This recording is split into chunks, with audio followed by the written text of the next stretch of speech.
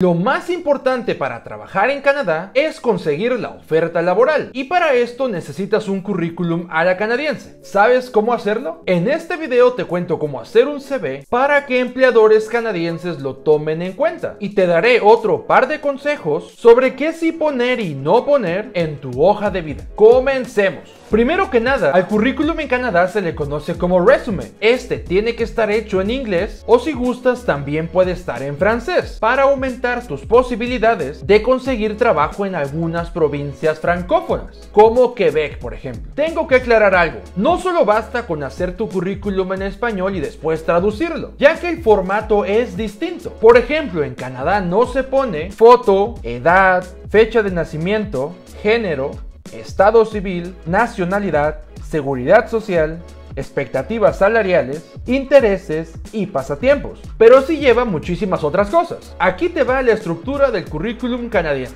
Datos personales, perfil profesional, formación académica, experiencia laboral, idiomas y al final van extras, como voluntariados, premiaciones, acreditaciones y demás. Déjame en los comentarios qué sección es la que más se te complica o cuál desconocías y puedo hacer un video a detalle sobre el tema. En la primera parte donde van los datos personales, es bueno que pongas tu nombre y apellido, teléfono, mail y redes sociales. Todos los datos vigentes que permitan a la empresa contactarte. De ahí va la siguiente parte, el perfil profesional. En esta parte tienes que hablar de tus aptitudes laborales y te sugiero enfocar esta parte al puesto al que estás aplicando. Por aquí puedes poner en qué estás especializado, tus éxitos, tus habilidades destacadas y demás. Tampoco te extiendas tanto, con un párrafo es suficiente. Y si no tienes experiencia laboral, igual escribe un párrafo pero con logros académicos o aspiraciones profesionales. En la siguiente sección que es la parte académica, escribe en qué universidad estudiaste, dónde fue que estudiaste, qué estudiaste y de qué fecha a qué fecha. Si tienes certificados o diplomados que hayan sido de más de 6 meses y sean relevantes al puesto, también ponlo acá. Y por favor omite tus estudios de primaria y secundaria. Eso no tiene nada que ver con el trabajo. Ahora sigue la experiencia laboral. Aquí, aunque seas la persona más experimentada del mundo, solo pon los empleos relacionados al puesto al que estás aplicando. Escribe dónde trabajaste, dónde estaba la empresa en la que estabas trabajando y el puesto que ocupabas, cuánto tiempo trabajaste aquí, funciones del puesto y logros.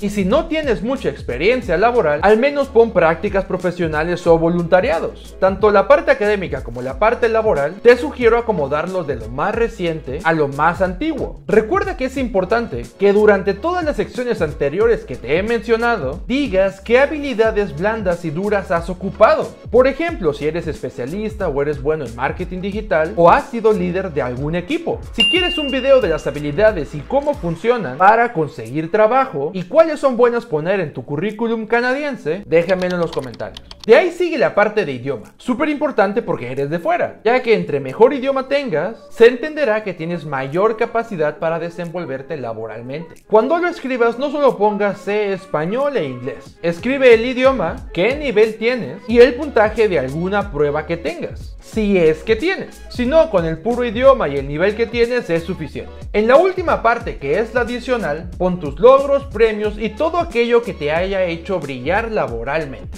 Esto te dará puntos extras y te hará diferente a los demás. Canadá es un país con mayor porcentaje en tasa de empleo que porcentaje en su tasa de crecimiento poblacional. O sea que hay más trabajos disponibles que gente. Por eso es que hay muchas oportunidades. Y si usas esta estructura de currículum, lo escribes con cuidado y detalle, lo adaptas a diferentes ofertas de empleo, aplicas constante e inteligentemente, haces una buena cover letter, seguro te llamarán. Es cuestión de ser paciente. ¿Cómo ves esta información? ¿Te sirve? Se viene un video sobre los costos promedio de vida en Canadá y otro más sobre trabajar en Canadá y algunos consejos extras para poder lograrlo. Aquí hay una oportunidad más. Éxito en tu proceso y ya sabes que cualquier cosa quedó al pendiente. Que tengas excelente día. Nos vemos a la próxima.